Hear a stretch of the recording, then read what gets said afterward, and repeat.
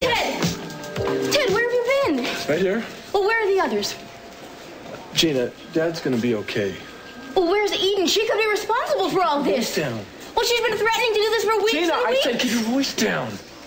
Now, now, nobody knows what happened. It's you have to wait. And you! This is all your fault!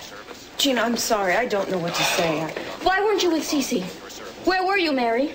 Why weren't you in his room? Well, in the first place, if you remember, I had the night off. Well, yes, I remember. You took over for the other nurse. Uh, Kelly told me, or Sophia, or well, somebody told me. Why weren't you with C.C.? The- I was in the study. Why? What were you doing? Mason was with me. Mason was with you. Well, a crime was committed in my house tonight, and you are going to be charged as an accomplice. You and Mason.